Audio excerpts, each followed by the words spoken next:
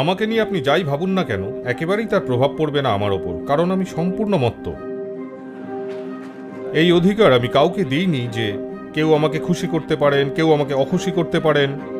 যে কোনো মুহূর্তে আমরাও ভুল করতে পারি, তাই প্রত্যেকের কথা শুনি। কিন্তু তারা এটা ঠিক করে দেবে না যে আমি কেমন থাকব।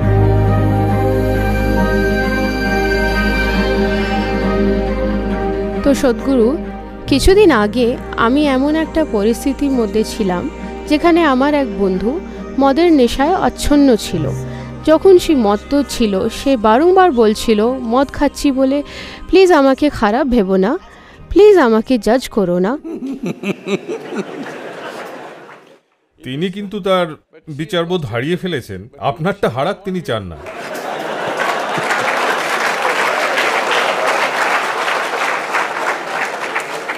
তো আমার প্রশ্ন হলো মদ হোক বা অন্য কিছু জীবনে কেন আমরা অন্যের মতামত নিয়ে এত উদ্বিগ্ন হই? আর কি করলে এটি আমাদের সুখী হওয়ার পথে বাধা হয়ে দাঁড়াবে না?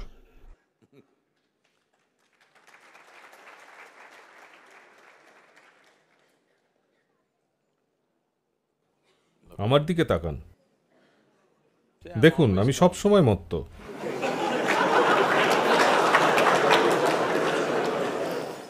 কখনো নেশার বস্তু ছুঁইনি। কিন্তু সব সময় মত্ত। আপনি আমাকে যা খুশি ভাবতে পারেন।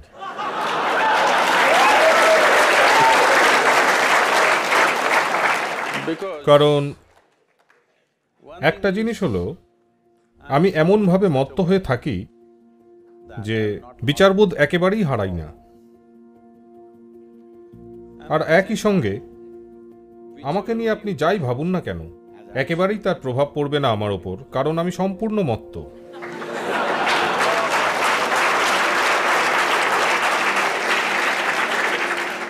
তা সত্ত্বেও বলব, কেন এই মদ্যপান করা এবং অন্যান্য নেশার ড্রাগের ব্যবহার পৃথিবীতে এভাবে বেড়ে চলেছে, তার কারণ হলো সব স্বর্গগুলো ধসে যাচ্ছে। হ্যাঁ আমি ব্যাঙ্গালোরে ছিলাম মাত্র তিন চার সপ্তাহ আগে। ওখানে আট হাজারেরও বেশি মানুষ দুদিনের একটা প্রোগ্রামে ছিলেন আমার সঙ্গে। আমি এমনি জিজ্ঞেস করলাম, আপনারা কজন স্বর্গে যাওয়ার কথা ভাবেন? মাত্র পাঁচটি হাত ওপরে উঠল। তো বাকি সবাই কি নরকের লোক? না।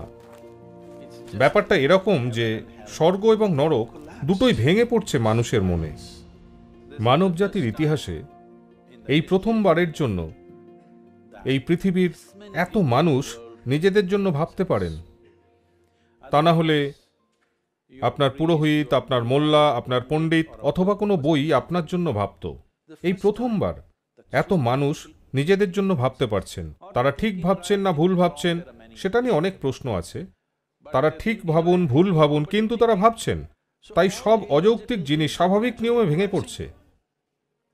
এখনও এই প্রজন্ম এর থেকে পুরোপুরি বেরিয়ে আসতে পারেনি। এখনও ভয় আছে। তারা খোলাখুলি বলতে পারে না যে ওই উদ্ভট স্বর্গ নরক বলে কিছু নেই।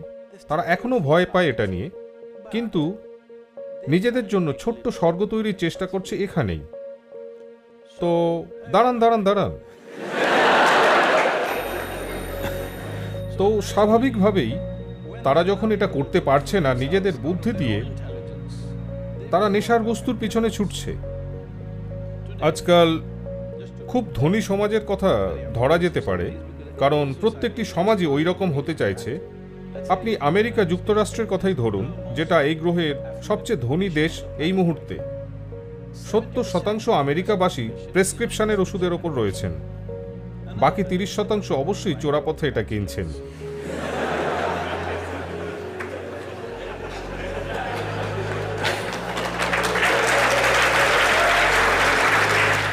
সবচেয়ে সমৃদ্ধশালী দেশ, তবুও সমৃদ্ধি কাজ করছে না।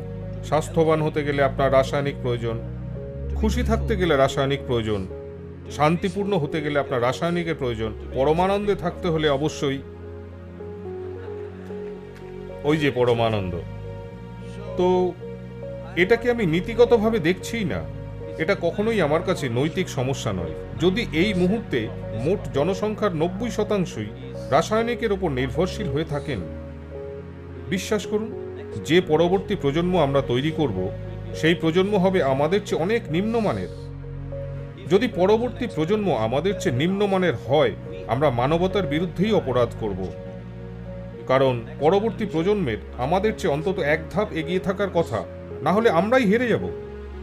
সভ্যতার সমস্ত প্রক্রিয়াকে ধ্বংস করে ফেলব যদি পরবর্তী প্রজন্ম প্রকৃতই আমাদের চেয়ে নিম্নমানের হয়।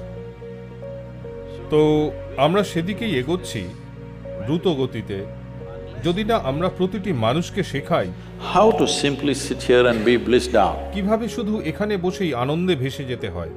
যথেষ্ট মত্ত তাই না? দেখুন। কিন্তু আমি কি যথেষ্ট সচেতন যথেষ্ট সতর্ক যথেষ্ট স্পষ্ট নই? যদি এভাবে নিজেকে নেশাগ্রস্ত করতে পারতেন আপনার বিচারবোধ না হারিয়ে আপনার সচেতনতা না হারিয়ে আপনার বুদ্ধিমত্তা না হারিয়ে তাহলে এটা দারুণ ব্যাপার হতো। মাদকতা এক চমৎকার জিনিস। সমস্যা একটাই যে এটা আপনার বিচার বুদ্ধিকে ছিনিয়ে নেয়, বুদ্ধিমত্তাকে ছিনিয়ে নেয়, আপনাকে অক্ষম করে দেয়। সমস্যা এটাই, তাই না? এটা সত্যি কি না? যে কাউকে জিজ্ঞেস করুন। আপনারা চিকিৎসা বিজ্ঞানে নেই, কিন্তু কাউকে জিজ্ঞেস করুন, এটা কি সত্যি যে এই শরীরটা এখানে ব্রহ্মাণ্ডের সবচেয়ে বড় রাসায়নিক কারখানা, যে ব্রহ্মাণ্ডকে আমরা জানি অন্তত সেখানে? হুম? একমাত্র সমস্যা হলো, আপনি একজন অদক্ষ ম্যানেজার। যদি জানেন কীভাবে এটাকে সামলাতে হয়, আমার মতো হতেন, পরমানন্দে পরিপূর্ণ। যে কেউ যা খুশি বলতে পারেন, যা খুশি করতে পারেন, এটা শুধু এটার মতোই? কারণ এই অধিকার আমি কাউকে দিইনি যে কেউ আমাকে খুশি করতে পারেন, কেউ আমাকে অখুশি করতে পারেন, কেউ আমাকে যন্ত্রণা দিতে পারেন। এই মুহূর্তে আপনি অন্য লোকের মতামতের ভরসায় বেঁচে আছেন। এভাবে আপনি কোথায় যেতে চাইছেন? যে কেউ আপনাকে ধ্বংস করতে পারে। আপনি বাইরে গেলেন, আর কেউ আপনাকে বলল শ্রেয়া, আমি যত মানুষ দেখেছি, তার মধ্যে আপনি সবচেয়ে চমৎকার মানুষ। তখন আপনি ভাসতে লাগলেন মেঘের ওপর। কত নম্বর? কত নম্বর মেঘ? ন নম্বর। ও, দক্ষিণে আমরা এগারো বলি। তো আপনি মেঘের উপর ভাসছেন, যে কোনো নম্বরই হোক। তারপর বাড়ি এলেন, আর বাড়ির লোকরা বলে দিল, আপনি আসলে কে? মেঘটা ভেঙে চুরমার হয়ে যাবে।